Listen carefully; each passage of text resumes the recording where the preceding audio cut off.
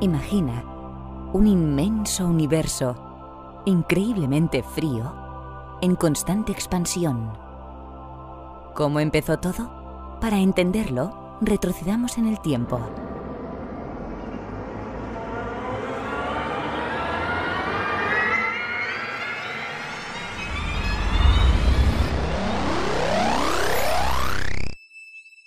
Imagina que te encuentras en los inicios del universo, hace casi 14.000 millones de años. Imagina toda la energía del universo comprimida en un espacio más pequeño que la cabeza de un alfiler. Imagina que estás dentro de este diminuto espacio. El tiempo está parado. Nada de lo que conocemos o imaginamos existe. Todo está a punto de cambiar para siempre. Se acaba de producir la gran explosión, el Big Bang. Se ha liberado toda la energía. La temperatura es extremadamente alta y el espacio se expande a una velocidad vertiginosa. En una pequeñísima fracción de segundo ha nacido nuestro universo. Este es el más profundo de todos los misterios. Ahora parte de la energía se condensa, convirtiéndose en masa se crean todas las partículas fundamentales de nuestro universo. Algunas de ellas todavía no las entendemos. Entre las que sí se encuentran los quarks, los electrones, los neutrinos, partículas diminutas que constituirán todo lo que conocemos, incluidos tú y yo. Mira atentamente, se crean por pares una partícula y su correspondiente antipartícula. Pero partículas y antipartículas también sufren una atracción mortal que hace que se aniquilen entre ellas. Una parte de la materia, sin embargo, sobrevive a este proceso afortunadamente para nosotros. Es la materia que forma todo lo que conocemos. A medida que el universo se enfría, los quarks se agrupan en grupos de tres, dando lugar a neutrones y protones. Y estos forman los núcleos más sencillos. Todo esto ocurre en los tres primeros minutos después del inicio del tiempo,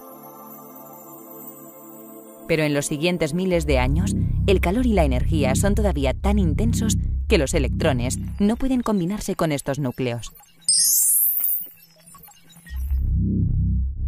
Avancemos 380.000 años desde el Big Bang.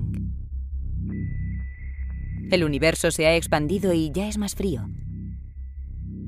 Ahora los electrones envuelven los pequeños núcleos, dando lugar a los primeros átomos sencillos, los de hidrógeno y helio. Y una vez creados los átomos, las partículas de luz ya pueden atravesar el espacio sin impedimento alguno.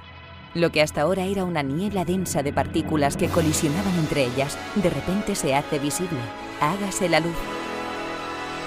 Esta primera luz puede observarse aún en forma del llamado fondo cósmico de microondas, una huella dactilar permanente del universo. Continuemos nuestro viaje, avanzando unos cuantos centenares de millones de años. Ahora la fuerza de la gravedad hace que las nubes de hidrógeno y helio se contraigan, provocando reacciones nucleares. Por todos sitios empiezan a nacer las primeras estrellas. Algunas de ellas son muy masivas. Agotan su combustible y colapsan. En el silencioso espacio explotan las primeras supernovas gigantes.